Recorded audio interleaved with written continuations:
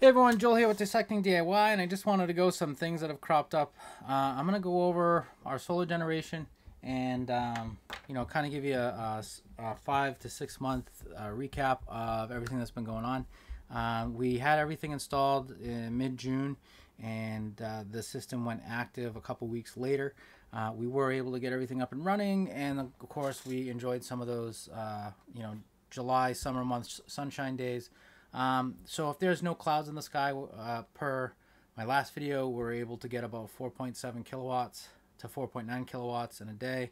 Depends on the, the heat uh, that's bearing down on that. And then, you know, on partly cloudy days, I've seen it jump as high as 7.5 kilowatts. Um, something about the clouds um, and the, the sun. So if I get like direct sunlight and then all the clouds are around, it must just hit the full array. Um, that being said, in the winter months, I'm able to produce about 5 kilowatts. Here we are in about mid-November. It's November 10th, and I'm producing about 5 kilowatts a day. As you might have guessed, I'm not going to be able to...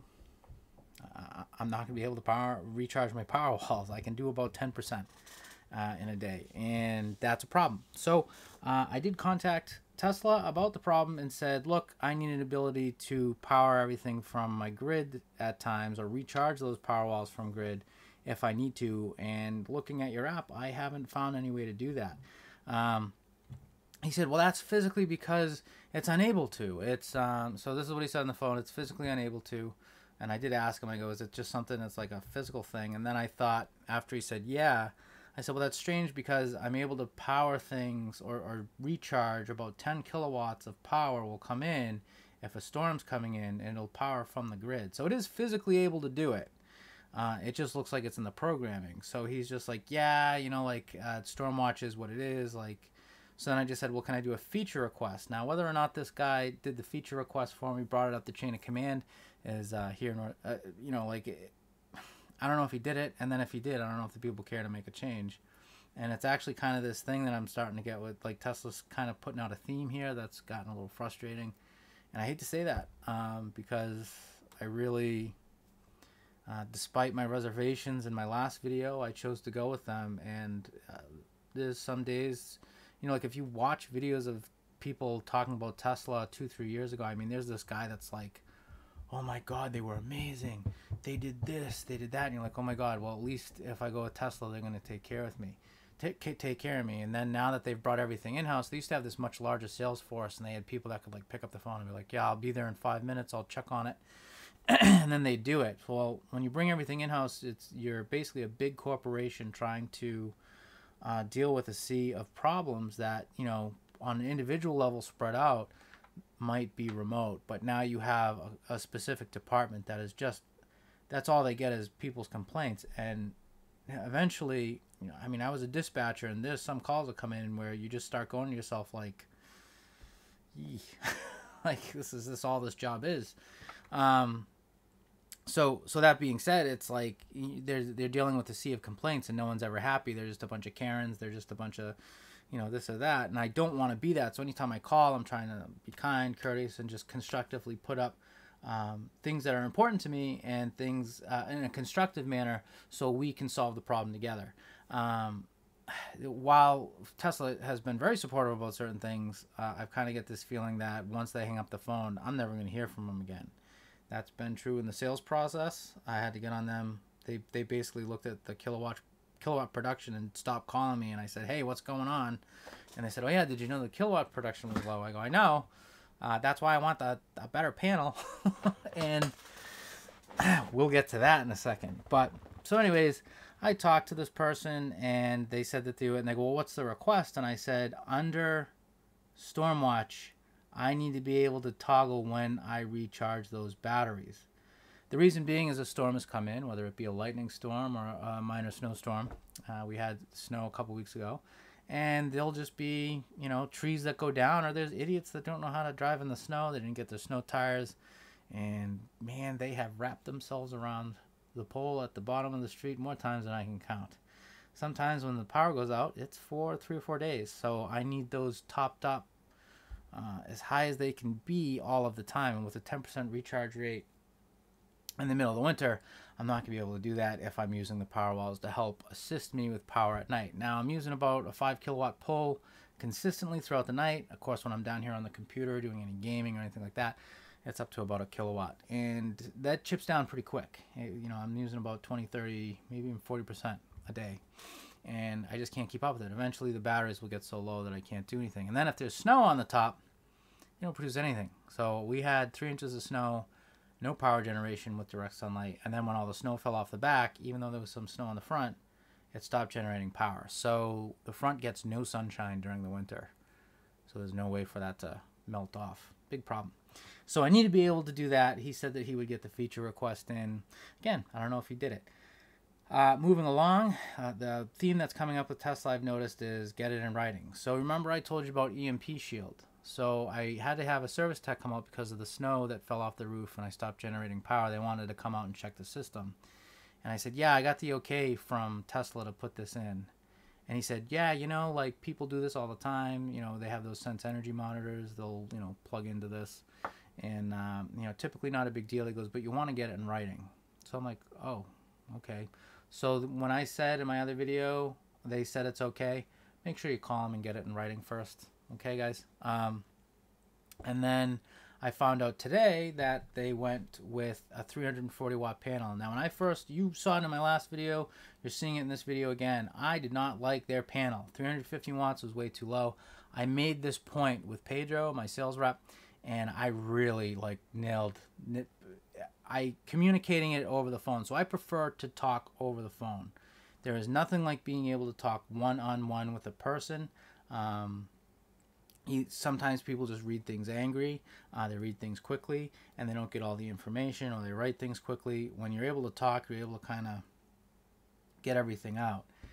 I didn't feel like beating a dead horse, and I just went through my emails again. I called Tesla today about the 340 watt panel, and I said, "What the heck? You guys told me you weren't planning." So I asked Pedro, "I go, you guys planning to upgrade these panels anytime soon?" He said, "No, we're not. We're not planning on."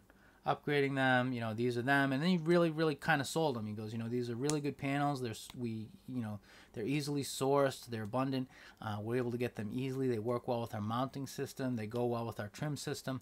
Yada yada yada. And um, you know, I said I know that, but I really, uh, you know, the the power generation that I'm getting isn't a lot. I've got these trees over here. You know, I've got you know this porch. I know I'm not going to be able to use, and um, you know, that's a big problem, Pedro. And I said, if you guys are planning on upgrading your solar panels, I would like to wait and install them when you've upgraded, basically gone to a better solar panel. And he assured me that there were there was nothing in the pipe work, uh, pipeline that he knew of that would lead him to believe that they were going to be upgrading the solar panels anytime soon. So of course, I really wanted to go solar with everything going on in the world. I wanted a backup power source, and I wanted a way to recharge it. And I I took the plunge, and I'm regretting it. you know, like I'm, I get like a pit in my stomach, and it's not that he in, intentionally misled me, guys. Salespeople get updates on the daily, and they might. He could have got that update. It's been about five, six months now. He could have got that update the next day after I, they installed and there would have been nothing he could have done um, other than said, "Hey, he really wanted these. Let's try to make it right." And I'm hoping that that'll happen here. So I'm talking to Tesla now and trying to see, but again, with their history, their customer service of that, endless complaints, and I'll, I'll, this leads into another complaint I had with them that's frustrating, and they never got back to me. So it's kind of, it, it really makes me believe like they're not going to be there for me. And remember, I brought up earlier, people were like they were amazing, and I haven't seen that amazing. I haven't seen that honor, the integrity, and the that we're going to make it right no matter what it takes um, at all. in any sense of the word. It's really been I'm having to nag them and and just be that other that voice that's just constantly what they feel is a just another complaint in a long line of complaints. So drove that point home. I want a, a more powerful panel. I even made like dumb analogies like I went, "Oh, well, you know, it's like your Cybertruck, you know, like you guys told everybody well, this has function. And it doesn't have to look awesome and doesn't have to look stylish like function over look. I go, well, that's the way it is with your solar roof and your solar panels. The solar panels are your Cybertruck. Function needs to be robust, tough, and able to produce a mass amount of power, right?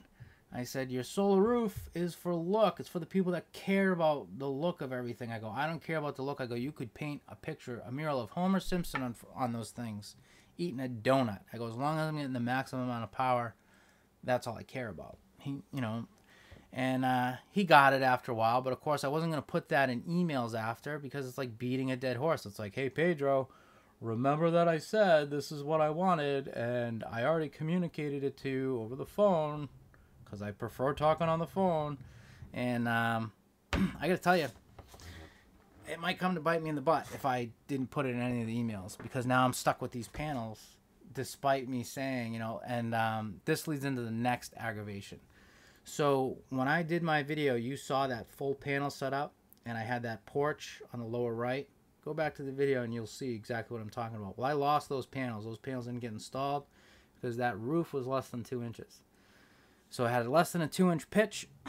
they can't install it. It's considered a flat roof. Okay. I knew that. I knew that going in. They took one panel, moved it up to the top. So I lost, I think, three or four panels. I can't remember. But I'm sure you'll be able to see it in the other one.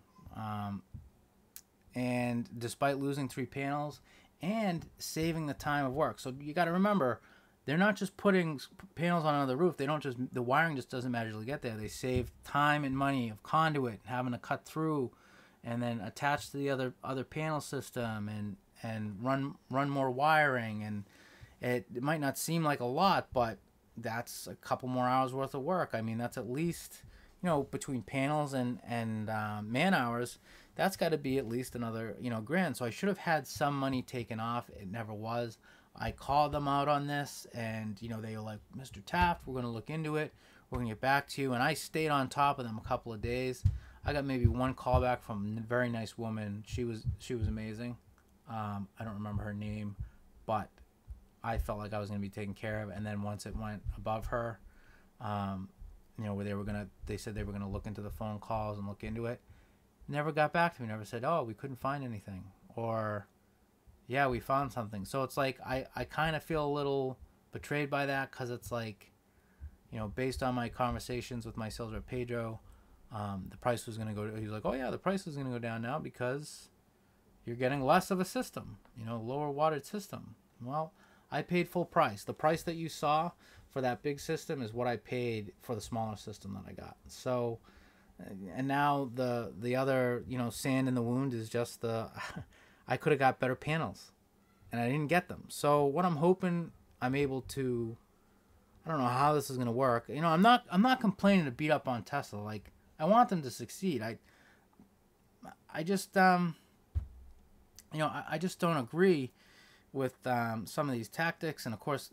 A lot of the time, it's not even tactics. It's like they brought everything in house. There's bound to be issues because you're just this big, big company now everything's under one roof and it's huge and there's so many people to try to please and it's tough and I get it but at the same time this is a big problem and I don't know if there's ever going to be a re- resolution and I think down the road is instead of uh, brand loyalty and sticking with Tesla like I you know I, I eventually wanted a Tesla vehicle maybe two Tesla vehicles. I eventually wanted um, Neur- not Neuralink the um, Starlink you know and it's like it was it was going to breed brand loyalty with me and i'm thinking now that maybe that's i'm not going to get taken care of. Like there's just too much this company is trying to do too fast and i'm just going to be another uh, another person that once they get my money they're on to the next one and um, you know it's, it's kind of unfortunate too because i'm trying to i'm trying to use that referral code to get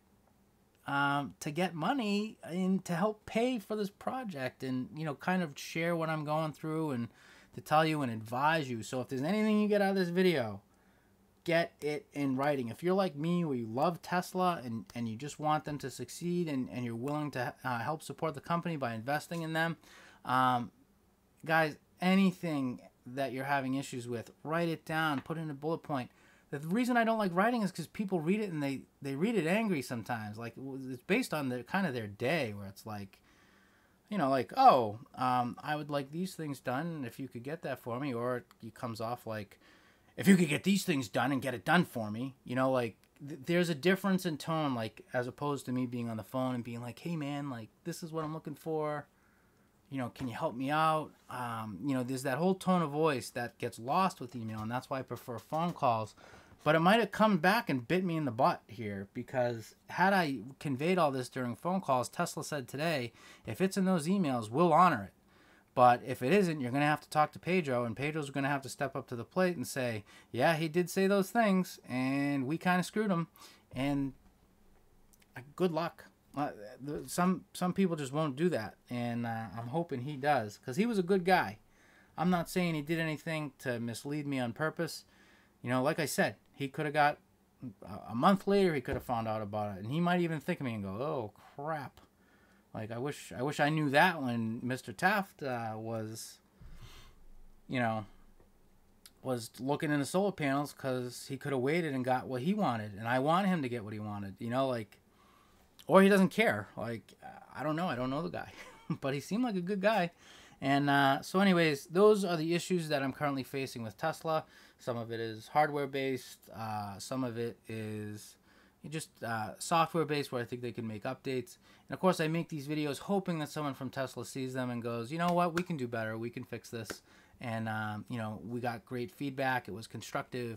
And I always want stuff to be constructive. And I always want to work with companies. Like every company that you see that I reviewed, Capsule, I've talked to Capsule. Hey, this is what I'm looking for in a product. Um, you know, they disagreed with me on, on a lot of it, but they said, hey, man, you know, like we appreciate your feedback. Um, the original oil gauge. I stay in contact. I contact these companies constantly and say, you know, this is what I'm looking for. This is what I want. These these are the problems I'm seeing with your product. Uh, you know, Airthings. I called them. I've been, I've I've talked to them so much about what I expect to see out of future products. Like I would like a powered radon detector where the batteries just kind of back up because if you pull the batteries, it resets the radon system. Um, you know, and I, I constantly give companies feedback because I really think a company can't do well. And when you love these companies, like it's like my smart oil gauge is amazing. I just, I would like it to be better and I'll even invest in the better if it's, you know, obviously cheap enough.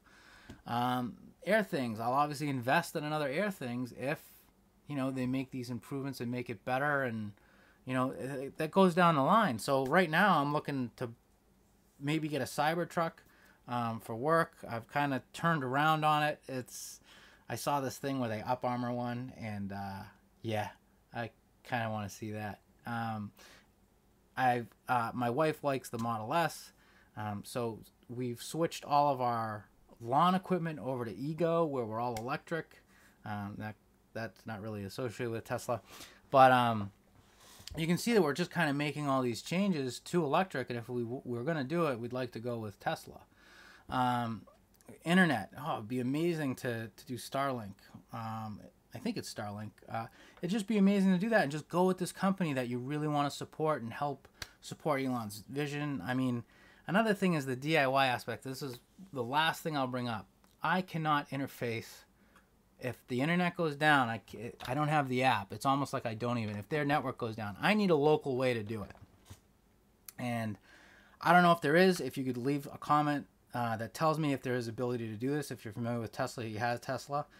I need to just do like my modem um, for my internet service where I do like 10.1. blah blah blah, and then I'm able to log in directly over Wi-Fi to my um, my power walls and just say, yeah, um, I don't need you in backup mode right now, or I need to see how much power you have so I can tell you when, when the cutoff is. Like you constantly be able to need to adjust your power levels of what you're able to pull. Uh, and then uh, just being able to, like the guy came out to check my system after the snow fell off it and like knocked it out for a day. And he said, uh, you know, oh, I updated your firmware. And I was like, well, why didn't it do that automatically? Why didn't it?